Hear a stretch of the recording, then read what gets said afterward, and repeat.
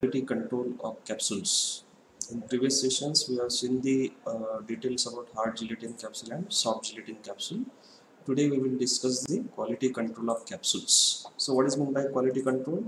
Once your product is ready to dispatch, once the finished product is ready, then before uh, before forwarding to the market, first we have to check the quality of your products, whether it is uh, as per the specification mentioned in various monographs or not. So in the same way your capsule have to qualify the various quality control test. And what are this quality control test and why it is significant?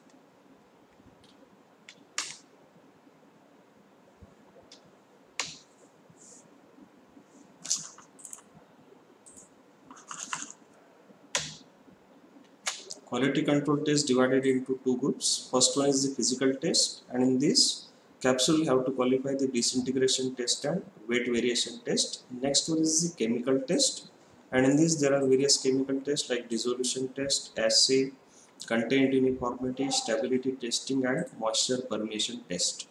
So before dispatching your product into the market first that capsule or any type of dosage form you have to qualify this type of different quality control test. So let us discuss one by one evaluation of capsules. So first we have to evaluate the capsule for weight variation test, then moisture permeation test, content uniformity, dissolution test and disintegration test. So these are the various quality control tests which your capsules have to qualify. Then first one is your weight variation test. So what is weight variation test? In this, 20 capsules are taken randomly. Once your batch is ready, suppose in a batch you have prepared near about thousands of capsules. So from these thousands of capsules, you just pick up 20 capsules randomly, any 20 capsules and take an average weight of this 20 capsule. And then uh, individually you have to compare your each capsule with the average weight. Getting my point? First you have to take 20 capsules randomly, take an average weight and then individual capsules we have to compare with the average weight. And when your capsule will complies the weight variation test when the weight of individual capsules fall within 90 to 100 uh, 90 to 110 percent of average weight. So your capsule will qualify the weight variation test when each and every capsules will be in range of 90 to 110 percent of the average weight. Suppose the average uh, suppose expected weight is 100 milligram then each and every capsule must be having 90 milligram to 110 milligram of the average weight. So then and then only your capsule will qualify the weight variation test then second test moisture permeation test in this test, a unit dose container is packed along with the dehydrated desiccant pellets. What is meant by desiccant pellets? So this type of desiccant pellets are nowadays available with every electronic devices or in most along with most of the product this type of desiccant pellets are packed. Uh, when you uh, unpack your mobile phone. Whenever you are going to buy any mobile phone or any electronic devices you can see that there are some uh, sachets of some desiccant pellets so that the so that it will absorb the moisture surrounding moisture and keep your mobile phone or any devices in a safe way. So in the same way this type of desiccant pellets are uh, packed with the unit dose container. Unit dose container means your capsule so each capsule said to be a unit dose container. So your capsules are packed with the desiccant pellets. And what is the property of this desiccant pellets? Changing the color in presence of moisture. If there is any presence of moisture, the desiccant pellets will change their color. So after some time you have to observe the pellets for change in color whether there is any change in color or not. So any change in color indicates the absorption of moisture suppose previously your desiccant pellets was uh, white in color and when you place along with the capsules after some time it may become light blue or yellowish color. So this change in color indicates that there is a presence of moisture. So then finally you have to take the uh, finally measuring the weight of desiccant pellets. After changing the color you have to take or you have to measure the desiccant pellets. And just find out the difference before and after the test. What was the weight of uh, desiccant pellet before the test and what was the weight of desiccant pellet after the test. So that difference will gives you the amount of moisture absorbed by the capsules. Amount of moisture absorbed by your desiccant pellet. So in this way you can find out the presence of moisture content then next one is the content uniformity test. Content uniformity means whether each and every capsule contains same amount of drug or not. That is called as content uniformity. And this test is applicable to all capsules which are to be given by oral administration. And this can be done by means of assay procedure for this test sample of the content is assayed as described in the individual monograph. Suppose you want to check the uh, assay. Assay means what? Percent purity. With uh, suppose the claimed drug is uh, said to contain 100 milligram of the drug. Suppose the pharmaceutical industries claim that this capsule contain 100 milligram of the drug. Then whether it is actually containing 100 milligram or not that you can uh, that you can check by means of assay procedure. So this type of assay procedure are described in the individual monograph you can refer the indian pharmacopoeia us pharmacopoeia british pharmacopoeia or any as per the given specification. So if it is mentioned that your drug uh, your capsule should contain not less than 110 percent uh, suppose not less than 90 or not more than 110 percent so if your drug lies in this range then your capsule will qualify as the content uniformity test. So in this way we have to observe the capsules for content uniformity test. And how to do the test? Randomly you have to take 30 capsules. So 30 capsules are selected and 10 of this assayed individually. So you can take 30 capsules randomly. And out of this 10 first we are going to take a batch of 10 capsules. So go for assay of this 10 capsule and find out the drug content. So at least 9 of these contain 85 to 115 percent. So out of this 10 capsule 9 capsule must be in range of 85 to 115 if one of the capsule is in uh, some, suppose one of the capsule contain 84 milligram or 83 milligram or it may be 116 or 17 milligram then it will uh, pass the content uniformity test. And none of the capsule shall contain 75 to 125 percent. None of the capsule. Otherwise uh, we are we are going to disqualify the batch. Okay so at least 9 out of 10 capsule must be in range of 85 to 115 and suppose one or three of them fall outside outside of 85 to 115 suppose uh, we can say 83 or 4 or maybe 116 or 17 so in this way if one or three capsules are outside of the range then remaining 20 capsules are individually assayed. Initially what uh, what we have done from 30 capsule we assayed 10 capsule. And if one or three falls outside of the limit then we are going to take remaining 20 capsule. Then again go for individual assay of the 20 capsule. And after assaying all 30 tablets after assaying all 30 tablets the capsule will qualify as the content uniformity test if not less than 27 capsules in range of 85 to 115 percent. And again none of the capsule shall in range of 75 to 125 so in this way we have to go for content uniformity test. So how to perform the test? First take 30 capsule and then assay 10 capsule any 10 capsule. And out of this 10 9 capsule must be in range of 85 to 115 and none of the capsule in range of 75 to 125 if one or three capsule not in the range of 85 to 115 then again acid remaining 20 capsules.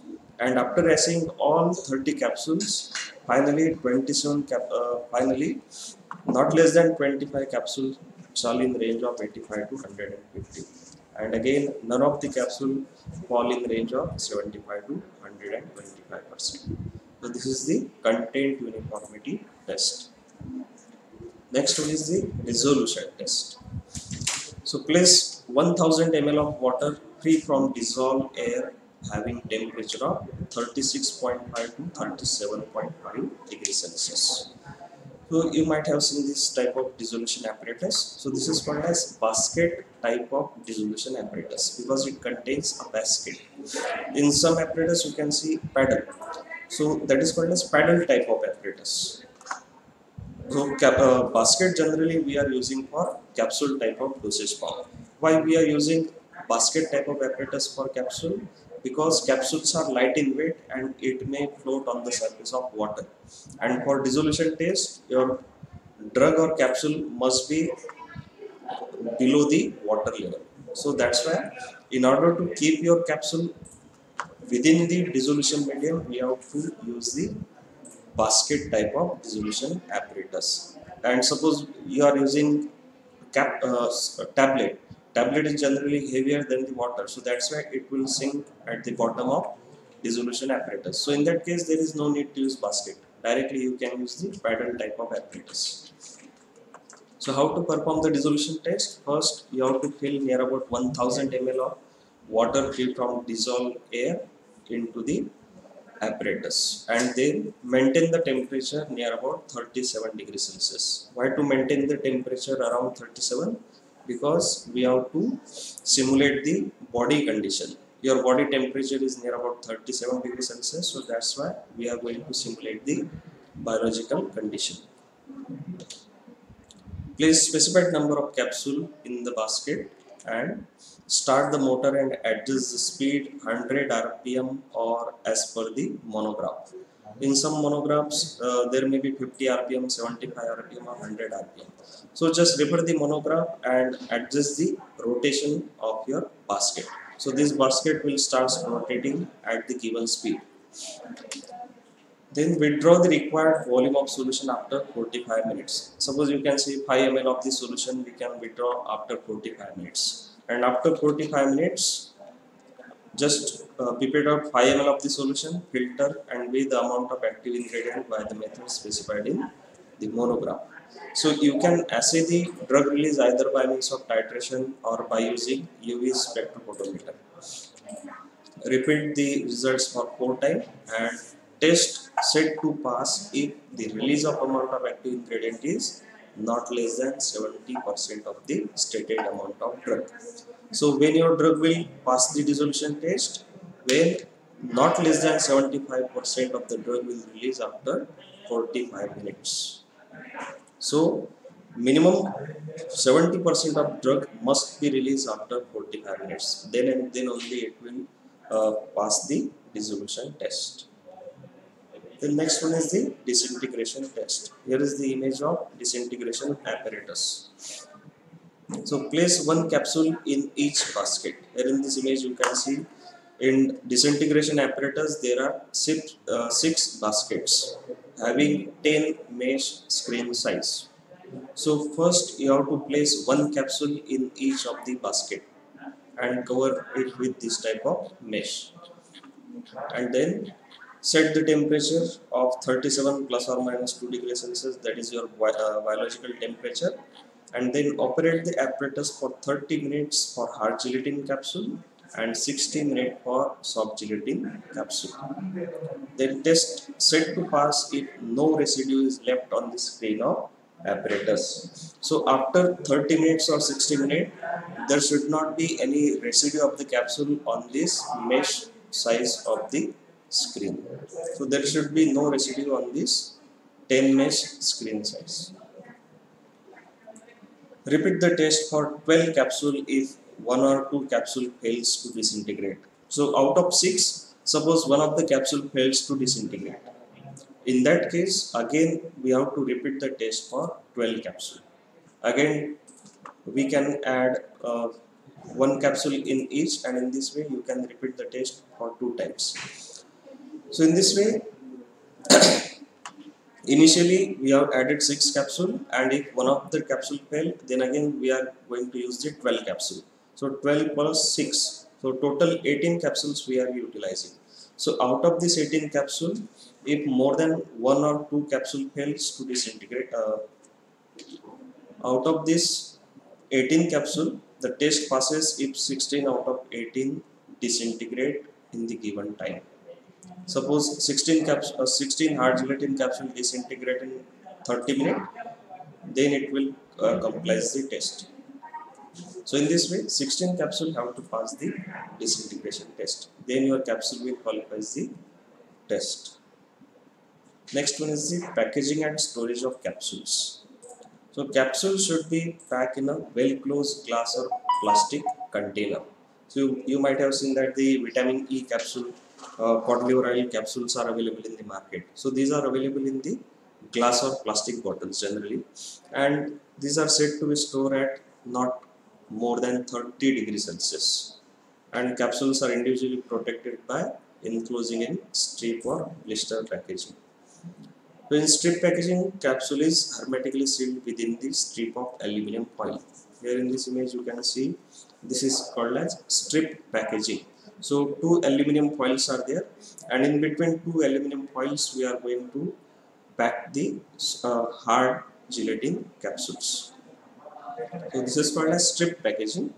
And this is called as blister packaging. In blister package a press on blister pours the capsule through the packing strip.